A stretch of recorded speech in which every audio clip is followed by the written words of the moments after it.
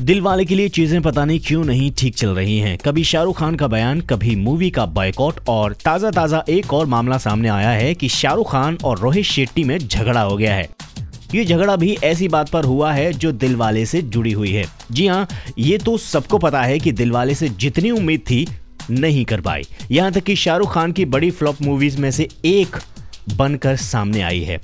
इस बात पर रोहित शेट्टी, जिन्होंने मूवी को डायरेक्ट किया और मूवी में मेन लीड में शाहरुख खान हैं, इन दोनों के बीच झगड़ा हो गया है। शाहरुख खान और रोहित शेट्टी दोनों एक दूसरे को फ़िल्म के फ्लॉप होने का कारण बता रहे हैं और कोई हार मानने को राज़ी नहीं है।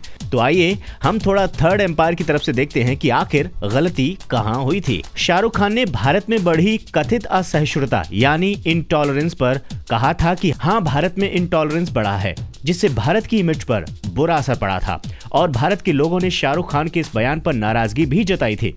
इसी के कारण से लोगों ने दिल वाले का बाइकआउट किया। शाहरुख पर एक और आरोप ये है कि शाहरुख ने जिस तरह से चेन्नई एक्सप्रेस का प्रमोशन किया था, उस तरह से दिल वाले का नहीं किया।